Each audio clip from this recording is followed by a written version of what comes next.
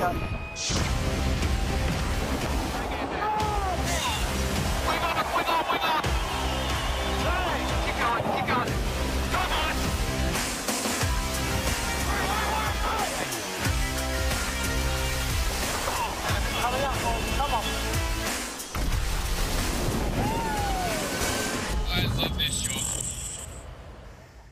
Bienvenidos a este trofeo Juan Sebastián del Cano, una regata previa a la competición de SLGP que tendrá lugar el sábado y el domingo aquí en las aguas de Cádiz. Hoy lo que estamos conmemorando es el quinto aniversario de esa primera vuelta al mundo de Magallanes y Juan Sebastián del Cano y vamos a poner en el agua a tres grandes equipos, tres grandes barcos. Hola Víctor. Hola, sí, hoy vamos a tener a España, a Estados Unidos y a Nueva Zelanda, tres equipos muy fuertes, con la entrada además de Jordi Chamar como patrón.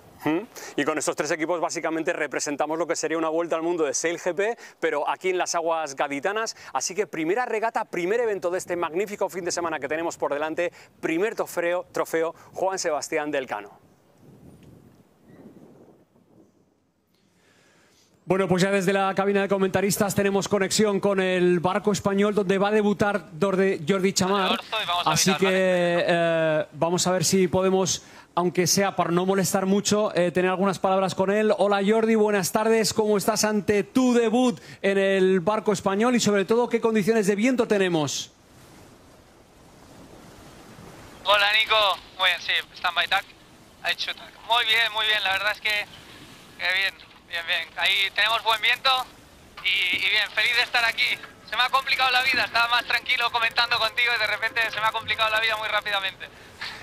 Jordi Chamar, no te molesto más. Muchas gracias, que tengas buena suerte, buena regata para el día de hoy y un abrazo fuerte desde la cabina de comentaristas. Vamos Jordi.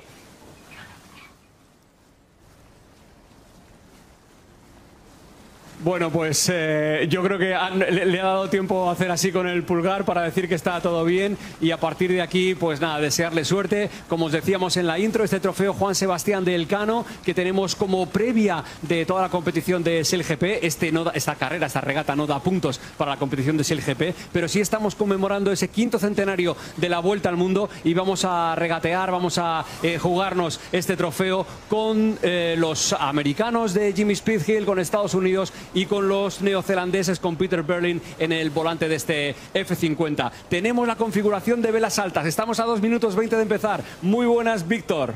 Muy buenas Nico, ¿qué tal? Con muchas ganas de ver debutar a Jordi.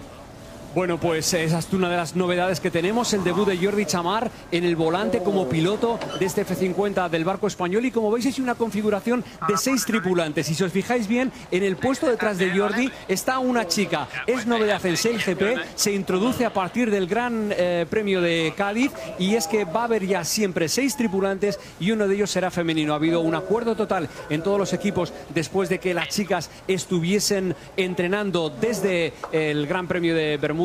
Todos han llegado al acuerdo que ya están listas después de sus entrenamientos para montarse en los barcos y ahí estamos con una chica en esos barcos. Un minuto 36. Vamos a explicar rápidamente cómo es el protocolo antes de salir por esa línea y que dé comienzo la regata. Sí, para aquellos que nos vean por primera vez, la salida es una salida en marcha, no en parado, por lo tanto, prioridad salir con el barco a máxima velocidad, cruzar esa línea, eh, no antes de que ese crono se ponga Esté en a cero. cero. Entonces, esa es la prioridad de los tres equipos, ¿no? En la, en la mejor posición posible, claro. Claro, ¿cuál es la dificultad? Que tienes que ir a la mayor velocidad posible y que todo el mundo está buscando ese viento que te dé la velocidad, pero tienes que hacer muy bien el timing, tienes que hacer muy bien la estructura mental y de, y- y de cómo va el barco de rápido para no adelantarte a esa salida. Ahora mismo la línea está en rojo y cuando el crono esté en cero se abrirá la salida. Están los barcos posicionándose. Estados Unidos detrás del español, Nueva Zelanda ya está haciendo esa maniobra para digamos, línea a la salida, todos con bastante margen, digamos,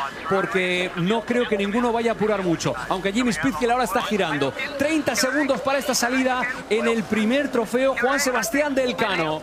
Y aquí la dificultad va a ser eh, la velocidad de acercarse muy, muy rápido a la línea. Vemos los tres barcos que se han adelantado bastante y están acercándose, quemando ese tiempo, no ese timing, muy, muy, muy Pues pronto. van, van demasiado rápido, van a tener que hacer eh, varias maniobras para no hacer jump start, para no saltarse la salida. Ahí está eh, maniobrando Estados Unidos, también Nueva Zelanda, España. Van muy, muy, muy justos, 9 segundos, 8, 7. Y muy bien 6. España porque va con máxima velocidad, Sí. con un- haciéndole un gancho ahí a Nueva Zelanda y pudiendo hacer acelerar en tiempo. Bueno, creo que se han saltado a la salida los tres. Penalti para Estados Unidos, es decir, se tiene que poner por detrás del último barco que haya pasado. Da igual porque han pasado a la vez tanto Nueva Zelanda como España. Así que Estados Unidos se tiene que poner detrás de estos dos barcos. Muy buena salida. Esta es la primera gran noticia porque siempre hemos fallado en las salidas, pero Jordi Chamar lo ha hecho perfecto. Vamos a por la primera boya. No hemos tenido tiempo de explicar el campo de regatas, pero rápidamente os digo, hay que mm, tomar esta primera boya y con viento a favor ir hacia la puerta 2.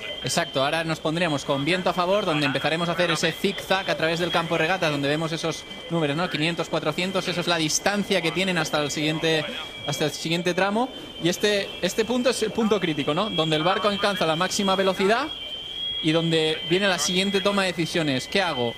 ¿Sigo el barco adelante o busco alternativas? Claro, hay que decir que este campo de regatas está muy próximo a todas las ciudades. El GP se maneja en estas condiciones, lo puedes ver desde tierra. Es una competición que no hace falta meterte los barcos para verla y por lo tanto, al navegar cerca de tierra, hay un compromiso con el viento y con desde dónde está soplando, porque te puedes quedar sin viento si te acercas mucho a la costa. De momento, los tres barcos han decidido que van a asegurar que van a ir por la misma línea. Nueva Zelanda, España y Estados Unidos navegando con viento a favor, pero viran primero, hacen esa primera maniobra tanto Nueva Zelanda como Estados Unidos. Sí, y muy bien España esperando a, iniciar esa maniobra una vez ya la ha hecho Estados Unidos, porque si la llegan a hacer a la vez, llegan a tener posibilidad de caer en una zona de, de desvente que se llama, ¿no? Que es que el barco americano le quita el viento al barco español.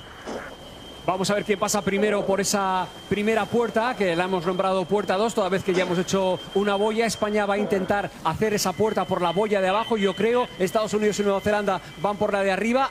Eh, esta estela que está dejando el barco neozelandés es el viento sucio que le está enviando tanto a Estados Unidos como a España, que decide irse con el resto de la flota. Decide por lo menos minimizar una maniobra, por lo menos, y quizás será el primero en tomar esa decisión otra vez. Eh, ahora vemos en viento en contra en cambiar de lado, ¿no? Y ahora tenemos otro gran lío, Víctor, que es ahora con viento en contra, ¿qué lado del campo de regatas elegimos? Porque ahora, uy, veo que hay bastante ola, que esto perjudica bastante al vuelo de los F-50, que van con foils, ahora lo explicamos todo eh, según nos vaya dejando la competición, pero con viento en contra hay que zigzaguear para poder llegar a la siguiente puerta y vamos a ver qué lado eligen. De momento van los tres por la zona alta. Sí, y vemos España, ¿no? Que toma una decisión de decir, yo no voy a volar a dos patines, voy a volar a uno, pero voy más directo a la boya, ¿no? Como veíamos ahí recortando, sacando distancia lateral al barco americano para intentar no caer en esa zona de desviento, lo que decías, ¿no? Ese viento sucio que nos manda los barcos. Qué complicado. Ahora tenemos esa pantalla partida con los neozelandeses de Peter Berlin y Blair Took, que entre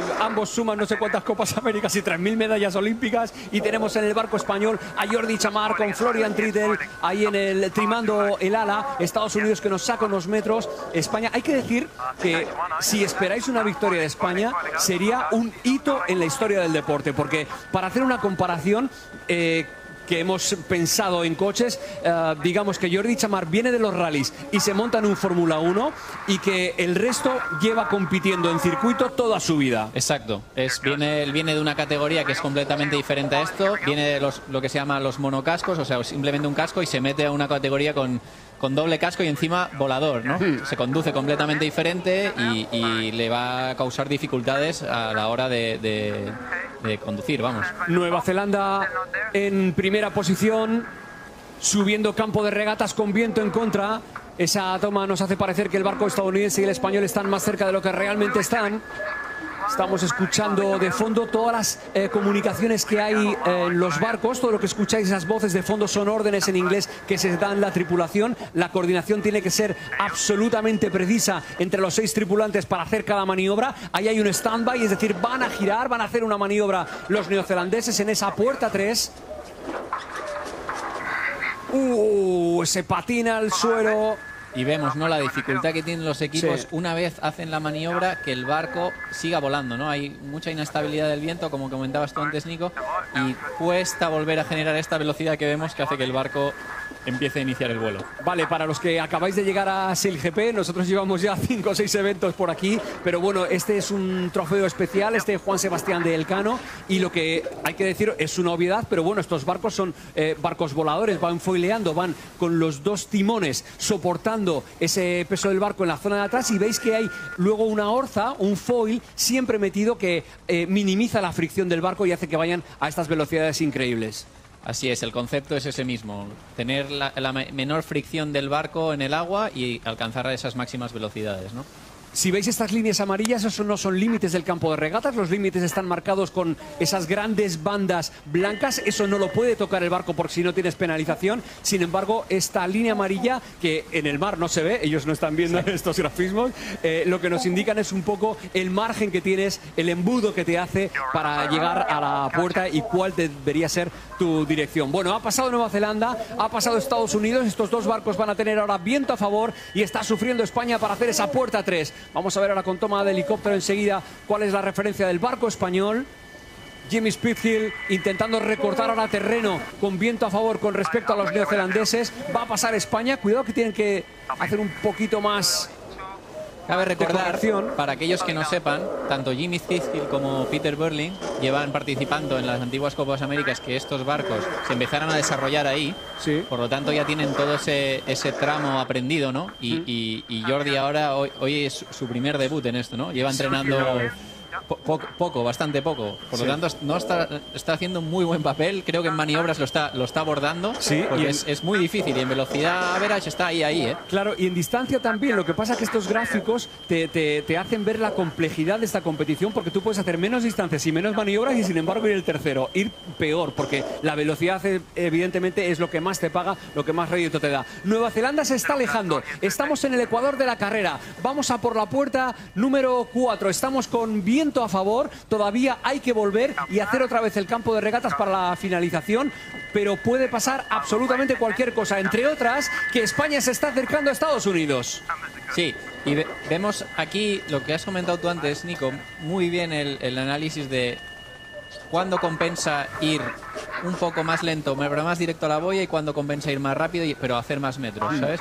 Eso es dependiendo un poco del tráfico de barcos que vayas a tener. Esa sería un poco la comparación para que los próximos días los espectadores se entiendan, ¿no? Cómo va a ir yendo la cosa. Recordamos que mañana competición a partir de las 4 estaremos en YouTube. A 4 y media empiezan las regatas o 4 y 20. eh, y hay mañana tres regatas, tres carreras y el domingo tras tres. Lo que pasa que la última será la final de este evento en Cádiz. Pasa esa puerta 5 Nueva Zelanda, que si no comete ningún error, pero ojo que aquí es muy fácil cometerlos, ganará esta regata. Eh, Estados Unidos, que va a hacer ahora ese paso en segunda posición por la puerta 4, aparentemente va a elegir el otro lado del campo de regatas para subir hacia la puerta 5 y vamos a ver España si completa este tramo para ponerse y poder competir o por lo menos recortar un poquito con respecto a Estados Unidos. De momento Nueva Zelanda con mucha diferencia haciendo muy bien esta regata. ¿eh? Sí, la verdad que Peter ha cogido una buena distancia que te permite siempre ir más tranquilo, hacer las maniobras cuando tú quieres, sin presión, y eso al final se nota, ¿no? Hemos visto esa batalla entre, entre España un poco al principio y Estados Unidos que ha dificultado que, que se nos escapen un poco ahí Nueva Zelanda. También para Nueva Zelanda es importante la victoria de hoy, aunque no da puntos, porque los neozelandeses que aparentemente han entrado este año en competición y aparentemente con la categoría de favoritos, realmente están muy abajo en la tabla de clasificatoria, están prácticamente cerrándolas por delante de Francia solamente y tienen, digamos, en su debe eh, que tienen que hacer, tienen que hacer una mejor actuación, una mejor performance. De momento lo están haciendo. Ahora se cae un patín del barco español al agua, aunque no sé si estamos en esta eh, en este tramo navegando solo con un patín en el aire. Bueno, cuando ellos, ellos cuando deciden hacer la maniobra, ellos ya ven si es posible virar con uno, o sea, hacer la maniobra con los dos patines volando o no, y ya enseguida deciden ir con uno porque se ve que el viento es muy inestable, ¿no? Que sube, de repente baja, entonces hay veces que no te compensa. Vale, lo que tenemos ahora es que iremos a la puerta 5 y luego volveremos a bajar el campo de regatas y esa será la línea final, esa será la recta final, o sea que estamos a un tramo y medio de que se acabe esta regata con Nueva Zelanda con mucha diferencia, con mucha ventaja con respecto al barco americano y al barco español. 43 kilómetros por hora con poquito viento. Interesante decir también que estos F-50, eh, a poco que estés volando, triplicas la velocidad del viento real que hay. Sí, ahí veíamos ¿no? esos 43 kilómetros por hora con 15 kilómetros por hora de viento real. Y la, y la gente se preguntará, ¿pero eso cómo es posible? Claro. ¿Sabes? ¿Eso por qué pasa? Por- básicamente porque el, el barco, al perder rozamiento con el agua, empieza a aprovechar el propio viento que genera con su velocidad. Digamos que si nosotros vamos en un coche y sacamos la cabeza por la ventanilla, ese, ese viento que notamos en la cara, ese es el viento que ellos aprovechan, ¿no? Absoluta ciencia ficción. De hecho, por ejemplo, Andrea Emo- Emone, que está como sexta tripulante en nuestro barco, es ingeniera aeronáutica. Es decir, para estos barcos va mejor la aeronáutica que la ingeniería naval. Sí, sí, ahora aquí es todo aerodinámica y, y cómo aprovechar con esas velas alas esas cantidades eh, de velocidad ¿no? que generan. Mira, mira, vamos a disfrutar de estas imágenes que son históricas. Es el debut de Jordi Chamar como piloto en este F-50. El otro día ponía un post precioso en Instagram diciendo de pequeños sueñas con entrar en grandes equipos y no me lo puedo creer, estoy soñando, estoy cumpliendo un sueño porque estoy en el equipo español de SailGP. Bueno, pues ese es su debut, Nueva Zelanda que va a pasar por esa puerta 5 y lo que tendrá que ahora es hacer todo el campo de regatas hacia la puerta 6 y ese será el final para ellos con viento a favor. Y veíamos, ¿no? También de repente 15 kilómetros por hora de viento, de repente 13, de repente 10. Es, es complicado, ¿no? Gestionar cuándo, cuándo realmente echar a volar este barco, sobre todo en viento en contra. En viento a favor, los barcos vuelan fácil, van, van, van bien, pero con, con viento en contra es donde se complica, ¿no? Cruce ahora de los americanos con los neozelandeses. Estos cruces también son muy interesantes de ver cuando hay ocho barcos. Mañana habrá ocho en competición. Eh, hay mucha tralla, ¿eh? hay mucho rumbo de colisión. Casi siempre hay alguien que está en rumbo de colisión con, con el otro. Así que eh, es de tener en cuenta. Ahora con tres está más ordenadito, digamos, la competición. Pero evidentemente siempre te puedes encontrar a alguien de frente. Pasa Estados Unidos, puerta 5. En breve lo hará España. Navega Nueva Zelanda con viento a favor hacia la línea de meta, Víctor. Y vemos, España ahora tendrá que hacer un split con Estados Unidos si necesita, si necesita eh, por lo menos recortar metros ¿no? con, con América e intentar, intentar ganar esa segunda posición. ¿no? Vamos a ver si logran tomar esa baliza, seguir volando con buena velocidad y minimizar esas maniobras a, llegar a la línea de- de meta. ¿no? Ahí está el barco español, 30 kilómetros por hora con cierta dificultad para hacer esa puerta 5, pero ahora la buena noticia es que tenemos viento a favor para cruzar todo ese campo de regatas hasta la puerta 6, donde debe estar llegando Nueva Zelanda, porque hace tiempo que ya ha hecho esta puerta 5. Estamos en el último tramo. Estamos viviendo el debut de Jordi Chamar a bordo del F-50 Victoria, del barco español. No va a haber victoria en este caso, pero es una alegría tan grande ver a los seis tripulantes españoles a bordo de este barco que es tremendo. Y ahí están los neozelandeses a punto de cruzar esa línea de llegada. Van a ganar este primer trofeo Juan Sebastián del Cano. Así que honor para Peter Berlin, para Blair Tuke, para Maloney, que están ahí llevando tanto el mando del barco como el flight control, como el wind trimmer. Los neozelandeses que ganan este trofeo Juan Sebastián del Cano. Estados Unidos va a hacer segunda posición. Vamos a ver ahora en toma de helicóptero cómo de lejos estamos de Jimmy Speedhill. Yo creo que bastante. Jimmy Speedhill que tiene, bueno, claro, viento absolutamente limpio y todo Sí. clarito para llegar a meta. Sí, también este campo de regatas recordemos que está hecho para ocho barcos, lo cual con ocho barcos todas las Sí. distancias se reducen más, los, los espacios son más pequeños eh, y, y hay, y hay más cruces y hay más situaciones. Por lo tanto, aquí, que es con solo tres barcos, el, el campo de regatas se estira mucho. Le llamamos que, que las distancias se magnifican mucho más. ¿no? Bueno, pues ahí está Jimmy Speedhill ya con muy poquitos metros para cruzar esa línea de meta. Jordi Chamar a bordo de ese F-50 Victoria que va a entrar en tercera posición.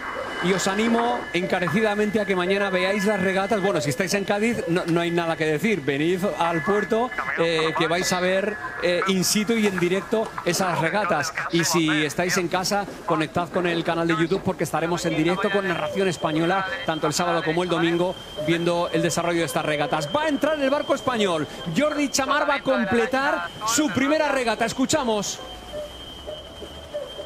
Russell Palrey, por si queréis saludar aquí a la derecha, Estribor. Bueno, ya directamente está hablando en catalán, yo creo, ¿eh? No, creo, creo que le van a saludar, decía que iban a saludar, que estaba Ah, vale, que vale. había alguien, alguien ahí importante. Bueno, risas, buen ambiente en el equipo español. Enhorabuena Jordi Chamar, primera regata, debut en Sail GP en este trofeo Juan Sebastián del Cano. Se felicita, se saluda ahí con Andrea Emone, que ha estado de sexta tripulante. El que cruza ahora es Tritel. Miramos, vamos a saludar un poco aquí a la gente. Miramos. Bueno, qué, qué grande en Jordi este Chamar. momento. Eh, eh, fíjate la- eh, cómo tiene la- en la cabeza que hay que saludar a la gente eh, que está en, en puerto. Sí, él lo tiene claro, Qué sabe grande. que la afición está ahí, que, que, bueno, mucha gente se ha acercado, que ha hecho esfuerzos y, y, bueno, Qué bueno. Y yo creo que vamos a tener conexión con Jordi Chamar mientras le vemos saludar a la gente, al público que se ha acercado hasta el puerto de Cádiz para ver esta regata. Jordi Chamar, si nos oyes, dinos unas primeras palabras, cómo te has sentido en este debut y enhorabuena. Bueno, mira, en, en lo que conectamos... Muy feliz, muy feliz de estar aquí al final. Estar, estar aquí en un F50 español delante en Cádiz navegando con, con nuestros compañeros de toda la vida, con quien empezamos esto hace bastantes años en la Red Bull Youth America's Cup y en todo lo que se ha convertido esto. eh, muy, muy feliz, la verdad. Hace, hace poco veíamos a, a Speed Hill y a Burling en la tele jugándose eh, una final de Copa América y ahora hemos hecho una regata con él, así que bueno. Eh, Jordi, dime una cosa, eh, ¿has estado, cómo de nervioso has estado en la previa de esta regata? Bueno, la, la verdad es que tampoco, tampoco mucho, porque eh, con los chicos les había dicho, no, oye, darme una mano y sabía que, que estaban ahí para, para ayudarme, sabían que, que, que era el- que soy el novato y que me ayudaban, y, pero bueno, eh, muy, muy contento de, de estar aquí. Todos sabemos, Jordi, que has estado obviamente entrenando con este barco, con esta misma tripulación, pero es muy diferente hacer entrenamiento a estar en competición. Sí, bueno, a ver, entrenamiento tampoco he hecho mucho, que llevo cuatro días, y, y- pero bueno, ha sido... eh, siempre tiene que haber una primera regata, ¿no? Y, y hacerla contra los neozelandeses y los americanos, está claro que, que no era lo más sencillo para, empezar, pero bueno, es, ya, ya va bien empezar fuerte. Eh, realmente hay mucho trabajo que hacer.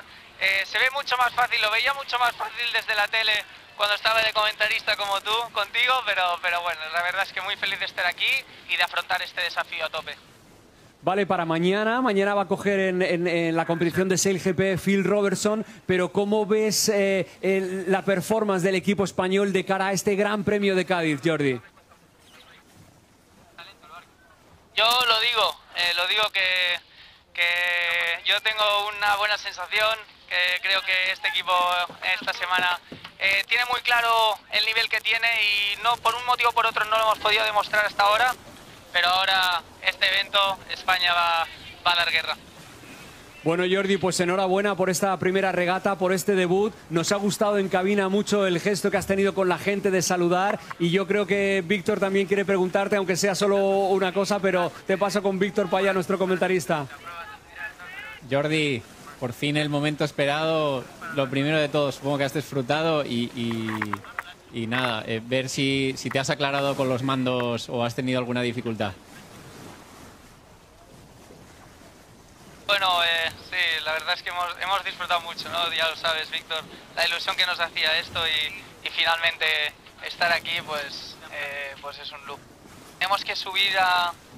Sí, yes, eh, tengo que cortar, Nico. Gracias Vale, por todo. perfecto, perfecto. Muchas gracias, Jordi Chamar. Enhorabuena por ese debut, porque lo que va a ocurrir ahora es que Su Majestad el Rey Felipe. VI eh, va a a H2, subirse a ese barco español o no sé si al, neoze- no, al neozelandés. Yo creo que era el que se estaba acercando a la fragata. Importante el apoyo y la asistencia de la Marina Española con un portaaviones, con una fragata aquí en el puerto de Cádiz. Hoy he tenido yo ocasión de subir al portaaviones Juan Carlos I. Vaya mole de barco que es aquello, Víctor. Eso sí que no foilea, eso ya te digo yo que no.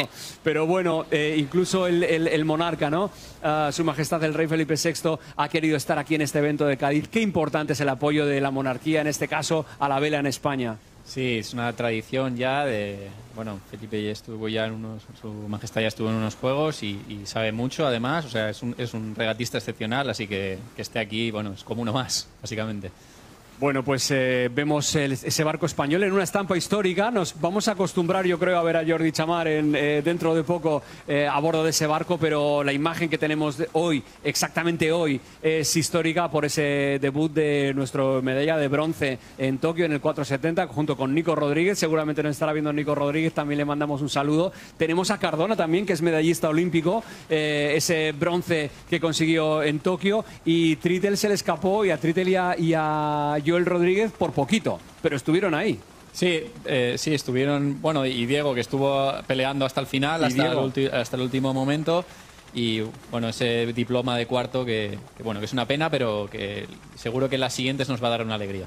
El barco español acompañado por esos eh, barcos de organización. Hay que deciros que, sí, que ya hay más de mil barcos, bueno, en concreto hay 1.280 barcos con licencia para ver mañana eh, desde el campo de regatas esta competición. Estas son imágenes grabadas de cómo está el puerto de Cádiz justo antes de salir eh, la flota, de salir los ocho barcos y esta magnífica y bellísima ciudad que da el pistoletazo de salida a- con este trofeo Juan Sebastián de Elcano a, al Gran Premio de SailGP aquí en España. Este es el portaaviones en el que he estado, que lleva Harriers y lleva helicópteros. No es un portaaviones al uso, pista cortita porque los Harriers tienen ese, despego ese despegue vertical también, pero ahí está el Juan Carlos I, donde luego va a haber una ceremonia solemne de arriada de bandera que tiene ese significado ¿no? de que se acaba el día ¿no? Eh, para la Sí. Marina y bajan la, bajan la bandera.